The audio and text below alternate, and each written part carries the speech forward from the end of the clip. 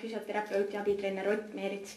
et laupäevases kohtumises Kuressaare vastu sai vigastada poolkaitsja Kristjan Papsi, et kuidas ta olukord on praegu ja mis vigastus tal täpselt siis on? mm,? täpse diagnoosi peaks täna teada saama, sest et äh, kohe peale vigastust on küllalt, küllaltki raske, raske seda öelda. aga tõenäoliselt on tegemist kõigest äh, külgsidemete osas, osalise rebeniga. Et kui me alg-, algus vigastuse, kuna Papsi täpselt ise ei mäletanud, kuidas ta selle jala välja väänas, siis alguses kartsime, et äkki võib olla ka lihtsalt sidemete vigastus, mis jaoks lõpetaks tal hooaja, aga aga lood-, loodame, et tänase päeva lõpuks on positiivsed uudised ja et kahe, et üle kahe-kolme kuu pausiga ei lähe mm. -hmm.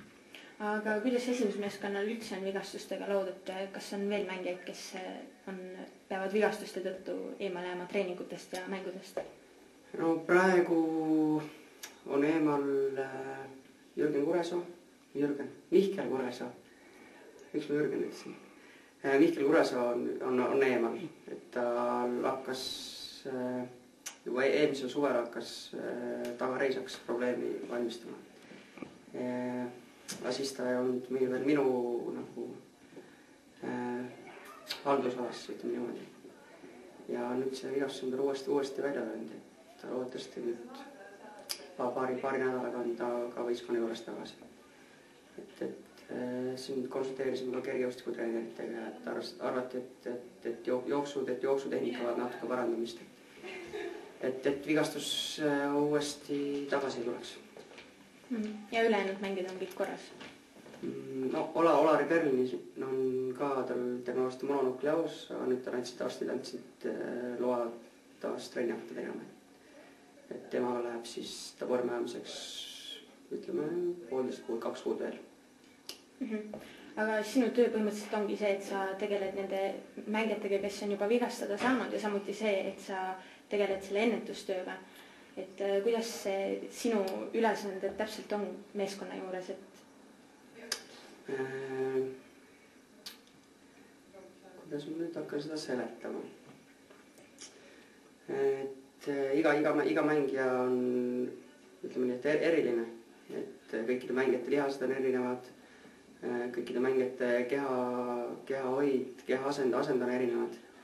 et, et siin mängijatel on äh, enda, ütleme, paljudel mängijatel on oma personaalsed harjutused, mida nad äh, peavad tegema või millele rohkem rõhku pöörama.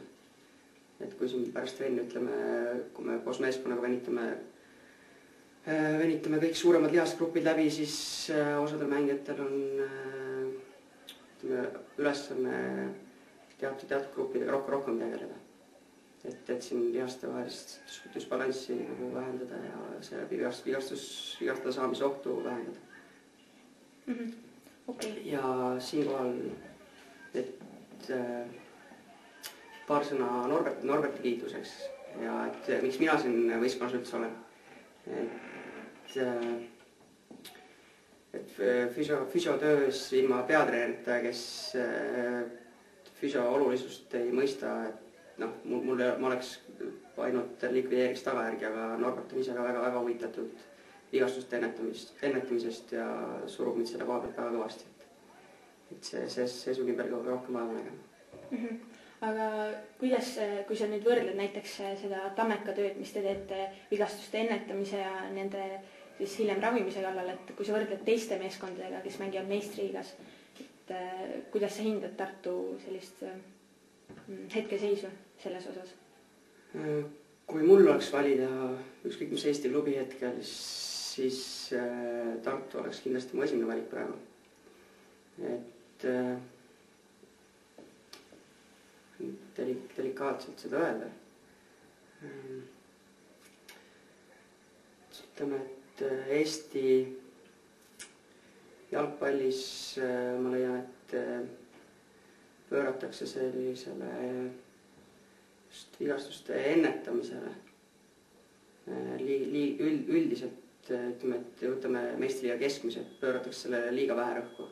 et pigem võetakse sul kolm palgalist mängijat kui, kui üks füsiotööl, et et see, et sul võib-olla korraga on seitse mängijat on vigastatud, et noh, sellele, sellele väga-väga, väga ei mõelda.